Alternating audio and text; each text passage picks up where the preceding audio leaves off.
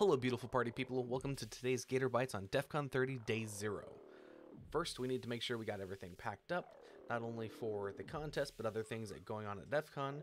And from there, we made sure to get the rental vehicle and start packing things up in the SUV.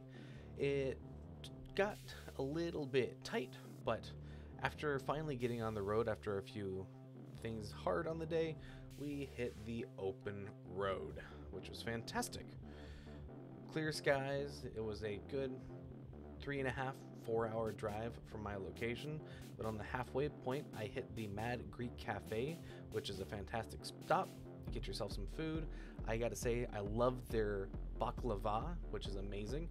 Get back on the road, and arriving in Vegas a little bit later than I intended, but pulling in about 9, 9.15ish, and traffic was great.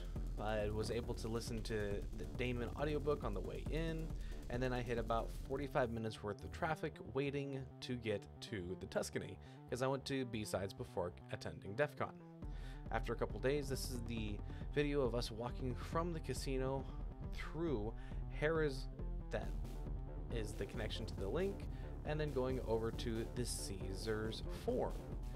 As we're going through and walking up, this takes a little bit of time to get there.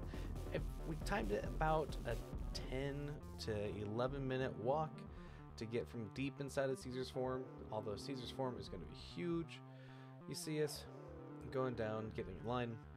We got the welcome to DEF CON sign, and then this huge sticker used to be a carpet that would be stolen from the very first place DEF CON was ever held, called the Alexis Park.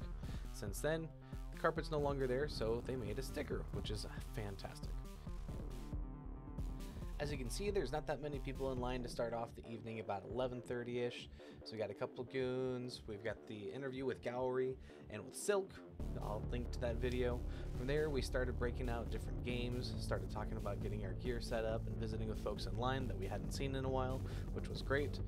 As you can see, things get a little bit more lively as we go along further into the evening. About 2 o'clock, people start going through and taking naps.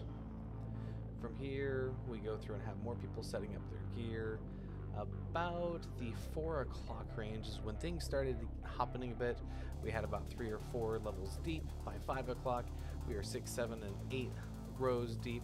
So they started going through and crunching this all together uh, preemptively to be able to start getting the ticket sales going on at 7 a.m. in the morning. And they had these cool previous black badges here on display, which is pretty awesome. So from here, this is me taking pictures of me leaving the area because, hey, I helped run a contest. I am in a different area to go through and pick up tickets, but I wanted to have the experience of Linecon for the first time in a while.